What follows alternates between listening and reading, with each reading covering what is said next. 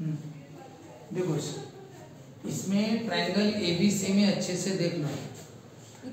B ए और सी इन तीनों में ए नाइनटी है। यानी ये हो गया राइट एंगल ट्रायंगल और ये है स्क्वायर इसमें चारों साइड क्या है? इक्वल है। दिया भी है। थर्टीन नंबर का क्वेश्चन पढ़ो, उसमें दिया है कि vertices of square D E F G यानी डी ई एफ़ जी क्या है? Square quadrilateral D F G is a square square है तो चारों साइड सेम होगी ना? D F E G F और डी जी चारों साइड क्या हो गई सेम ठीक है? इसका रीजन क्या लिखते हैं?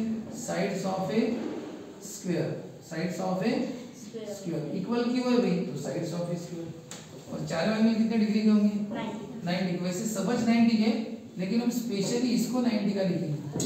यानी कौन सा एंगल 90 का लिखेंगे?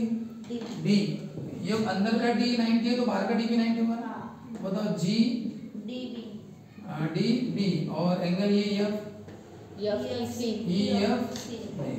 F E C F E C ये भी कितने के होंगे? 90 90 के होंगे। अब आप बताओ। और ये ओरिजिनली 90 का तो दिया हुआ है हाँ। अब एक बात बताओ कि आपको एक प्रूफ क्या करना है? D square equal to B D into E C अब डी यहाँ पे बी डी यहाँ पे और ई सी यहाँ पे। सर ये तो डी तो किसी ट्रायंगल में आ भी नहीं रहा। डी किसी ट्रायंगल में नहीं है। ना बी डी इस ट्रायंगल में और ई सी इस ट्रायंगल में। और B D into E C है। B D into E C इसकी साइड इसकी साइड मल्टीप्लाई कर रही है। है ना? तो क्यों हम एक काम करके इन दो ट्रायंगल को बता देंगे सिमिलर क्योंकि ये कब होता है? जब ट्रायंगल सिमिलर होते हैं तो साइड्स क्या होती है? प्रोपोर्शन और उसमें इनके क्रॉस जैसे एक हाथ में बी डी आ गया इधर ई सी आ गया तो क्या हो सकता है? क्रॉस मल्टीप्लाई में B D into E C आ सकता है। तो एक ट्रायंगल ऊपर लिखते हैं एक ट्रायंगल देखो साइड जब हम सिमिलर बताते हैं तो होता क्या है? एक की साइड ऊपर रहती है दूसरी साइड नीचे है। फिर वो क्रॉस मल्टीप्लाई में B D into E C आ सकता है। तो मैं यही सोच के हम बी डी और ई सी तो बी डी वाला ये ट्रायंगल इसी वाले इन दोनों को सिमिलर बताएँगे अब कैसे सिमिलर बताएँगे सिमिलर के लिए तीन टेस्ट है। ए टेस्ट सबसे ज़्यादा काम किए। बताओ इसमें ऐसा कौन सा एंगल है और इसमें कौन सा एंगल इक्वल है? एंगल डी यानी एंगल 90 लेकिन बाकी दोनों एंगल के बारे में हम कुछ नहीं जानते। कॉमन एंगल नहीं। एंगल्स की जितनी पढ़े थे ना? Common angle corresponding angle vertically opposite angle corresponding angle in parallel lines alternate angle parallel lines है ना? बहुत कुछ पढ़े थे ना इनमें से कुछ भी नहीं है तो सर कैसा करें तो एक काम करते हैं ये दोनों आपस में सिमिलर बताने के लिए ये दोनों बड़े के साथ सिमिलर बताते किसके साथ? बड़े के साथ। बड़ा वाला कौन है? एबीसी यानी ये भी किसके साथ बताएँगे? मेन ओरिजिनल ट्रायंगल के साथ। और ये भी किसके साथ? ओरिजिनल के साथ। अब बताओ ये दोनों अगर ओरिजिनल के साथ सिमिलर होंगे तो ये अपने आप में भी क्या हो जाएँगे? सिमिलर डायरेक्ट और डायरेक्ट डायरेक्ट नहीं पहले बताना पड़ेगा। ये छोटा और ओरिजिनल छोटा कौन? G D B B D G लिख देते हैं। बी डी जी यानी ये छोटा। और बड़ा वाला कौन सा है? ए बी सी ठीक है? तो इन दोनों को हम सिमिलर बताएँगे। अब अच्छे से देखो। बी डी जी तुम्हारे सामने। इसमें तीन एंगल है। बी डी जी तीन एंगल पर फोकस करो। और बड़े वाले के तीन कौन से?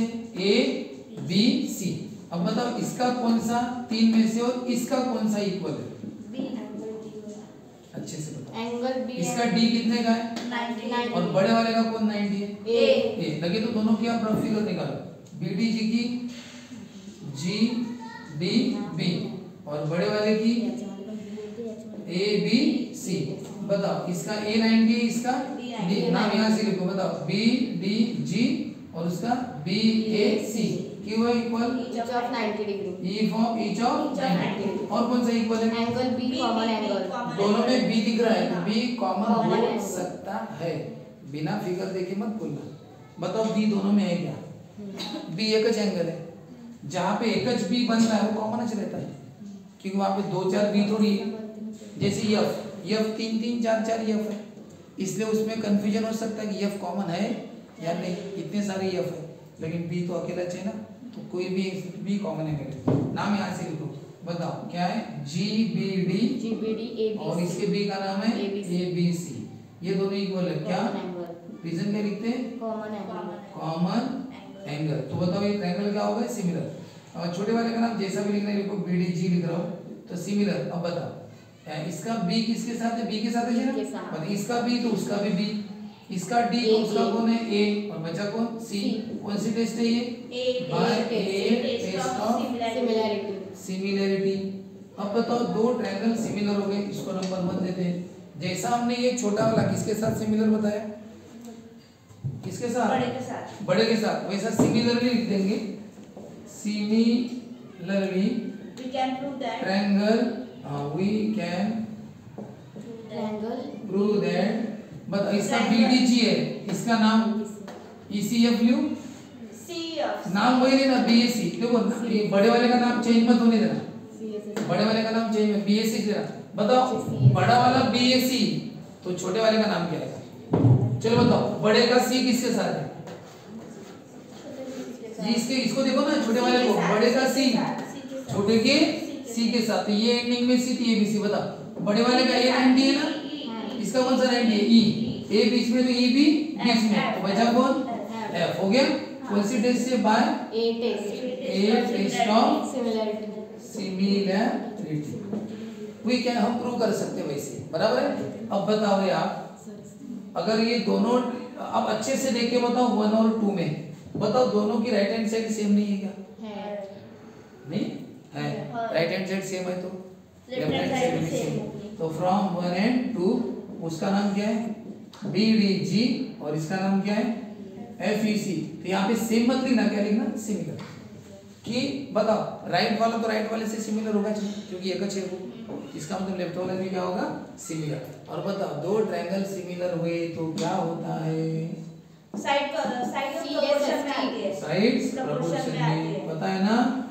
बताओ तीसरी कौन सी है बी जी और ये एफ़ सी रीजन क्या लिखते हैं सी एस एस अब आप बताओ आपको क्या चाहिए था डी का स्क्वायर डी है क्या कहीं पे अरे एक भी जगह डी नहीं है मतलब B D into E C है क्या हाँ हाँ हाँ ये दोनों में है ना इन दोनों में है ना तो एक काम करो इन दोनों को ही लिखो बी डी एफ़ ई और डी जी और ई सी बस इन दोनों को ही लिया क्योंकि इसमें बी डी और ई सी है बताओ क्या करेंगे F E into D G और B D into E C बताओ प्रूफ हो गया कि नहीं? B D into E C sir ये वाला प्रूफ नहीं हमारा. इधर क्या है? डी का स्क्वायर है. डी का स्क्वायर तब होगा जब हम दोनों की जगह डी लिखेंगे. इसके जगह भी डी इसके डी लिखाते क्या हो जाएगा? डी का स्क्वायर लिख दो दोनों की जगह डी इसके जगह भी डी इसके जगह क्या हो गया? डी का स्क्वायर हो गया सर प्रूफ नाही सर डायरेक्ट तो अपने में से कैसा लिखेंगे सर दोनों की जगह? तो फिगर देख लो. यफी की जगह डी लिख सकते हैं क्या? यफी की जगह डी लिख सकते हैं? हाँ। F की जगह D लिख सकते हैं? हैं। क्योंकि ये क्या है? स्क्वायर। All side same. तो एफ़ की जगह भी क्या लिख सकते हैं? डी और बताओ डीजे की जगह भी डी लिख सकते हैं। डीजे की जगह भी क्या लिख सकते हैं? डी।